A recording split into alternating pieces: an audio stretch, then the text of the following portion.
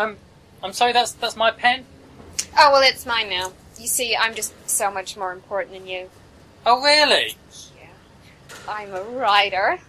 And what's so special about writers? My dear boy, we create art! Right, right. So why are you working in a toilet seat factory? I do not create art for commercial gain, young Oh. man. No, not yet. That's step seven on my five-year plan. Right, what step are you on now? Well, funny you should ask. I'm working towards my first screenplay. It really is quite amazing. It's an exploration of the role of spirituality in our eternal quest to come to terms with our own mortality, set against the backdrop of a woman who works in a toilet seat factory. Brilliant. I know.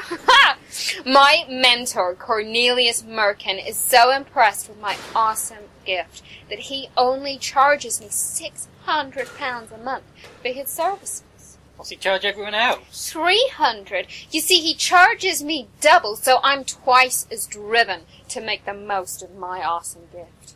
He sounds great. Oh, he is, and I can call him as often as I like, up to three times. Right, why do you need a screenwriting mentor if you're so wonderful already?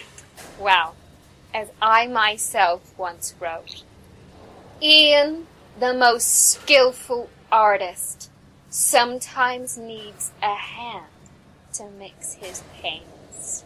You wrote that. Yeah, it's rather good, don't you think? Well, Cornelius helped with the words and the sentiment, but the rest is all mine.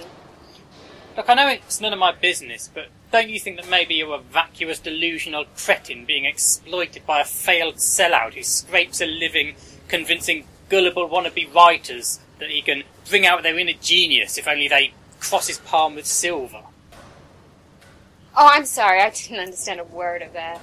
Never mind. Look, do you want to sign this leaving card? Oh, yeah, sure. Melanie, sorry you're hmm,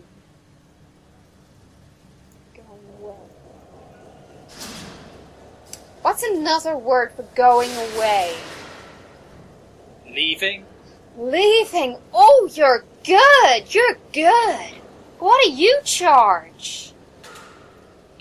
800? Oh, I saw Italy when I was on the moon. I looked up at the earth and there it was, like a tiny little boot. Yeah, it was a beautiful sight. I can imagine. Yeah, well, I don't like to talk about it.